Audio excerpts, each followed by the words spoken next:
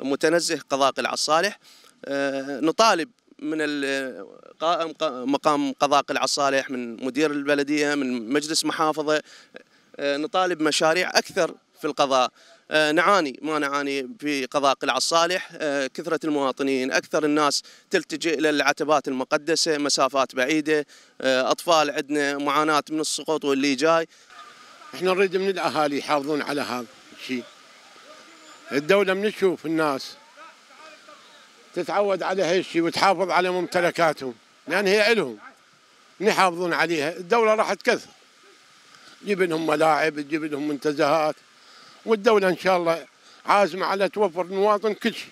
حقيقة أنه القضاء يفتقر إلى تلك المشاريع. تعرف أن القضاء من الأقضية القديمة وهذا المشروع إنه تلكئ العمل به خلال ثلاث سنوات أو أربع سنوات الماضية. والحمد لله والشكر بجهود الأخوة في بلديه قضاء قلعة صالح. على بركة الله تم افتتاح المدينة الترفيهيه في قضاء قلعة صالح واللي يمثل نقلة نوعية على مستوى الخدمات وعلى مستوى استكمال البدء باستكمال البنى الفوقية للمحافظة لوحداتها الإدارية. هذه المدينة تقع على مساحة 30 ألف متر مربع تتكون من ألعاب مجموعة ألعاب ستة ألعاب كهربائية و25 ألعاب ميكانيكية إضافة إلى مسرح صيفي إضافة إلى مساحات خضراء إلى أعمدة إنارة إلى الألعاب الأخرى وأعتقد أنه هذه الخطوة بهذا الحجم حاليا بدأنا بها فقط في قضاء قلعة صالح